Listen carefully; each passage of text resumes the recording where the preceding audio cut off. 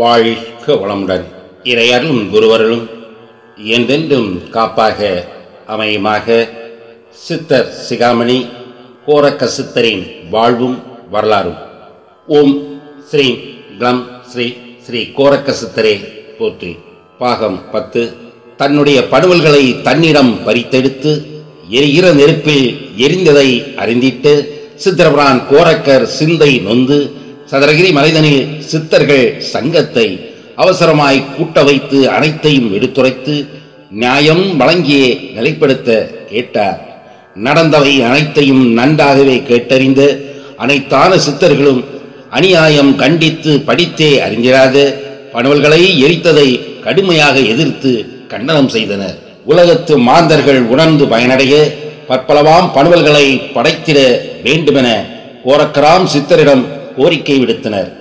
நடப்புகள் இவ்வாறு நடந்ததை தொடர்ந்து காகபுஜண்ட பெருமானின் கொண்டையில் சொருகி வைத்து சந்திரரேகை பணுவலை சித்தரவர் எடுத்து வந்தார்.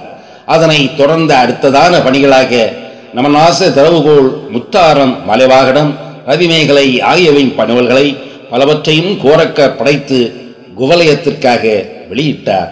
அனைத்தான சித்தர்களும் ஆக்கியதாம் பணுவல்கள் பாடல்களின் வடிவில் பரிபாசையில் நிறைந்திருக்கும்.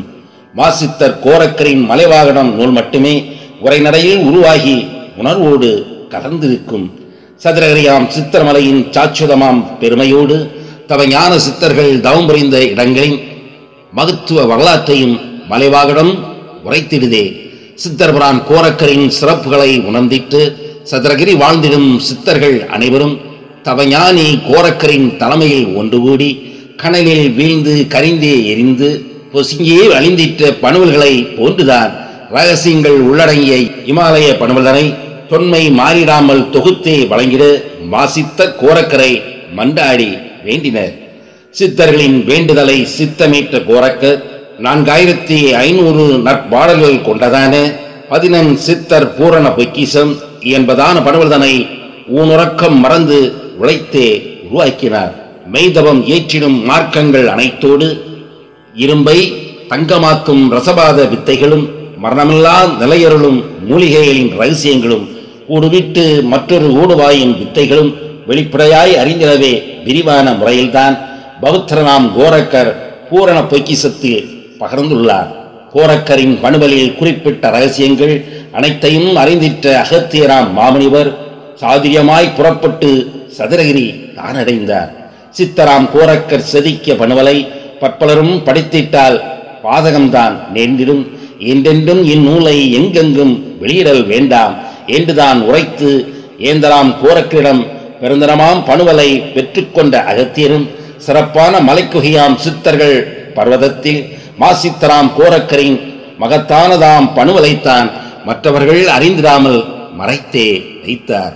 அகத்தியரின் இச்செயலை அறிந்தே வெகுண்ட சித்தர்வான் கோரக்கரின் சீடர்களோடு நண்பர்கள் அகத்தியர் மறைத்த அரியதாம் பணுவல் என்றென்றும் எப்போதும் எவருக்கும் தெரிந்திடாமல் பாறையாகவே மாறிடவே பதைபதைத்து சாபமிட்டனர். சாபத்தின் விளைவால் சித்தரின் பணுவல் இன்றைய நாட்களிலும் எவருக்கும் தெரிந்திடாமல் மலைக்குகை பாறையாக மறைந்தே போனது. மாசித்தரின் பணுவல் மறைந்தே போனாலும் தவசித்தர் கோரக்கர் தன்னுடைய சீடர்களுக்கு மந்திரம் ஒன்றையும் வாசக்தி எந்திரத்தையும் உபதேசம் செய்வித்து உபயோகம் உறுகின்றார். எந்திரத்தை அமைத்தவுடன் மந்திரத்தை உச்சரித்தால் பாறைதான் நகர்ந்து பாதையும் தோன்றிடும். காவலிருக்கும் சித்தர்கணம் கண்முன்னே தோன்றுவர். பணிவோடு அவரிடம் பதினன் சித்தர் பூரணவைக்கிசம் வேண்டுமென விண்ணப்பித்தால் வேண்டியதை தந்திடுவார். ஒப்பற்றதாம் பணுவலதை ஒருமூர்த்த காலத்திற்குள் பார்த்தறிந்த பின்னர் பணுவலை ஒப்படைப்பாய். ஒப்படைத்த மறுகணமே ஒப்பற்றதாம் பணுவலும் காவலிருக்கும் சித்தர்கணமும் கண்காணாது மறைந்திடுவர் என்று உரைத்திட கோரக்கர் மலையோடு பாறை இருக்கும் மலைவழியை உரைத்திட்டார். காலங்கள் பலவாக கோரக்கராம் மாசித்தர் சதுரகிரி மலைதனில் சந்ததமும் வாழ்ந்திருந்து தவநெறி போற்றியே தவத்தினில் ஆழ்ந்து பற்பலமாம் பண்பல்களையும் படைப்பாக்கம் செய்திட்டார். கோரக்கர் குகையோடு கோரக்கர் குண்டாவும் காலத்தின் வேகத்திலும் கரையாத சாட்சியமாகும். சித்தராம் கோரக்கரை சதுரகிரி சென்றிடவே கட்டளை பிறப்பித்து ககனபலி பயணித்த பெரும் சித்தர் போகர்வரான் பயணத்தின் வழிதனில் மேற்கத்திய நாடுகளின் வான்வெளியில் செல்கையில் வெள்ளையின மாந்தர்கள் வேதனையுடன் கலங்கிடும் காட்சிதனை கண் பார்த்து காரணத்தை தானறிய ககனத்தின் பரப்பிலிருந்து கீழ்ப்புறமாய் தரையிறங்கி சோகமுடன் கூட்டமாய் சேர்ந்தே சென்றிடும் மக்களோடு மக்களாக மௌனமாக கலந்தே அரசகுலம் வாழ்ந்திடும் அரண்மனைக்குள் புகுந்தார். அந்நாட்டின் மன்னவன் அழகானாம் இளையோன் எதிர்பாரா நேரத்தில் யமனிடம் அகப்பட்டு மரணத்தின் பிடிதனில் மாண்டுதான் கிடப்பதையும் அழகியதாம் இளமனவி அழுதுதான் புலம்புவதையும் மன்னவனை இழந்திட்ட மக்களின் துயரத்தையும் பார்த்தறிந்த சித்தர்புரான் பரிதாபம் கொண்டார். அனைவரின் துயரத்தையும் அகற்றிடவே நினைத்து அரண்மனை விட்டகன்று அவசரமாய் பயணித்து மயிலாடும் கானகத்தின் மலக்குகை தேடியடைந்து குன்றாத தன்னுடம்பை உகைக்கு கிடத்திவிட்டு கூடுவிற்று மற்றொரு கூடுபாயும் வித்தையினால் தன்னுடம்பில் நிலை பெற்ற தன்னுயிரை பிரித்தெடுத்து மரணித்து கிடந்திட்ட மன்னவன் உடம்பினுள் உள்புகுந்து சித்தரபுரான் உயிர் பெற்று எழுந்தார். மன்னவனின் உடம்பினில் மகானின் உயிர் புகுந்து மரணித்த மன்னவன் மகிழ்ச்சியுடன் எழுந்தார்.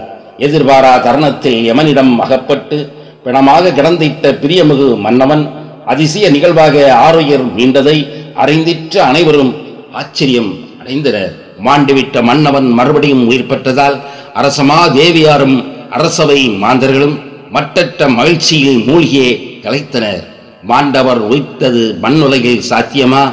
என்றான சந்தேகம் எண்ணத்தில் ஊடுருவ அதிசயமாம் இந்நிகழ்வின் ஆதாரங்கள் கண்டறிய அமைச்சர்களோடு அதிகாரிகளும் ஆராய்ச்சியில் ஆழ்ந்தனர்.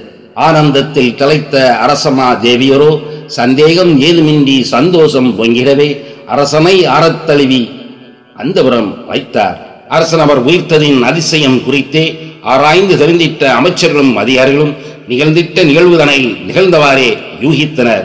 தவநாடாம் பாரதத்தின் தவஞான சித்தர்தான் மன்னவராம் நம்மவரின் மேனியினில் புகுந்துள்ளார். அஷ்டமா சித்திகளை அடைந்தோரே சித்தர்கள். கூடுவிட்டு மற்றொரு கூடுபாயும் வித்தைகளிலும் வல்லமை பெற்றோரே வளநாட்டின் சித்தர்கள். மன்னவரின் உடம்பினுள் மறைந்திருக்கும் சித்தரால் திருநாடாம் நம் நாட்டை திக்கற்றும் முன்னேற்றலாம். மன்னவரின் உடலை விற்று மாசுத்தர கண்டிடாமல் கண்டிராமல் எப்போதும் காவல் இருக்க எண்ணியதாம் அமைச்சர்கள் கூடுவிற்று மற்றொரு கூடு வாய்ந்த சித்தருக்கு உலகத்து ஆசைகளை உண்டாக்கி வைத்தனர். அரண்மனை சுகங்களோடு அரசியரின் இல்லறத்திலும் உல்லாசம் அனுபவிக்க உற்றவழி செய்தனர். மதுவின் போதையிலும் மாமிசத்தின் சுவையிலும் மங்கையின் காமத்திலும் மாசித்தருக்கு அலசை காட்டி மதிதனை மயக்கியே மாயையில் வீழ்த்தினர். மன்னவனின் உடகுகுந்த மகானாம் போகர்பிரான் ஆசையின் வலையினுள் அகலாமல் அகப்பட்டு மாயையின் பிடியினில் மயக்கத்தில் ஆழ்ந்தார். தன்னையே தான் மறந்து தன்னிலை உணராமல் மதுவோடு மங்கையரே மகிழ்ச்சி என்றிருந்தார். அரியதாம் சித்திகளை அவரிடம் அறிந்திடவே இரவோடு பகலுமாய் இடைவிடாமல் எப்பொழுதும் மாசித்தராம் போர்பரானை மயக்கத்தில் ஆழ்த்தியே அனைத்தான கலைகளையும் அவரிடத்தில் அறிந்தனர். வானகத்தில் பறப்பதற்கும் பாவி நீரில் மிதப்பதற்கும் அணுவனை அறிவதற்கும் அறுவை சிகிச்சை செய்வதற்கும் ரசவாத கலையால் இரும்பை பொன்னாக்கிடவும் அனைத்தான ரகசியங்களை அவரிடத்திலே அறிந்ததோடு அறிந்ததின் வழி நின்று அரிய பலன் அடைந்தனர். போகரும் அரசியும் போகத்தில் ஆழ்ந்து குழந்தைகள் இருவரை உளமிழங்க பெற்றனர். ஓம் சிவ சிவ ஓம்